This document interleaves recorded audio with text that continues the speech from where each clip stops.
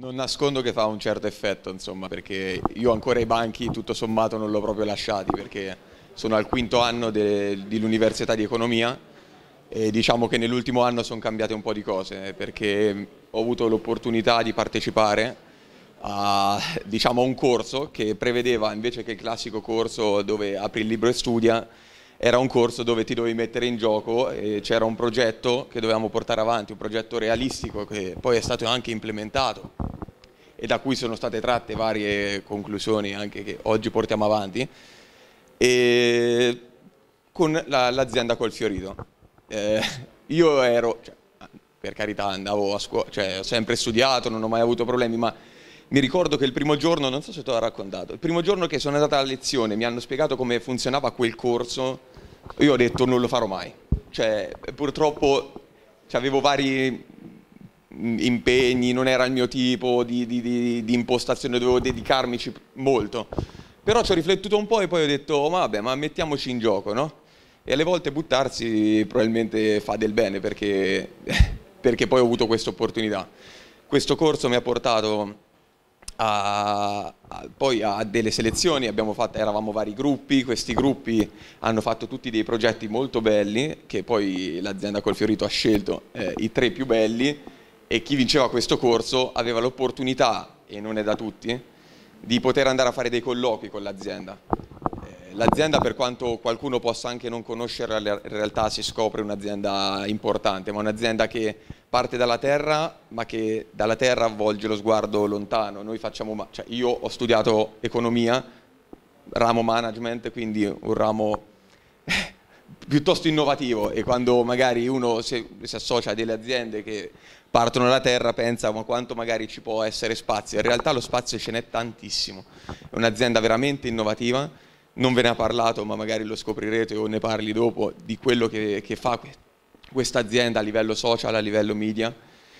e, eccetera. E quindi niente, abbiamo fatto questo, questo, colloquio, io con altri compagni, eravamo una ventina di persone se non sbaglio e da questo colloquio ne sono uscite due e abbiamo iniziato questo percorso, ma è stato un percorso che sin dal primo giorno era un percorso serio, cioè il primo giorno me lo ricordo, eh, riunioni, coinvol coinvolti all'interno delle riunioni, ci vuole anche la fortuna di trovare magari delle aziende come queste perché io non lo dico per captazio o benevolenza ma in realtà ha, cioè, nonostante avessi buone aspettative mi ha comunque sorpreso. C'è un'azienda che sin dal primo giorno ha dedicato tempo a me che ero l'ultimo arrivato e che probabilmente da qui a 17 di gennaio chi lo sa quello che poteva succedere insomma eh, quindi io ci ho messo tutto me stesso ma anche loro hanno dato tanto a me mi hanno fatto, mi hanno fatto credere molto in quello che facessi e quindi con l'impegno poi dopo eh, uno dà sempre, dà sempre, di più. Ecco. Quindi eh, è un'esperienza pratica per dirvi che molto spesso uno magari sottovaluta le occasioni che trova eh,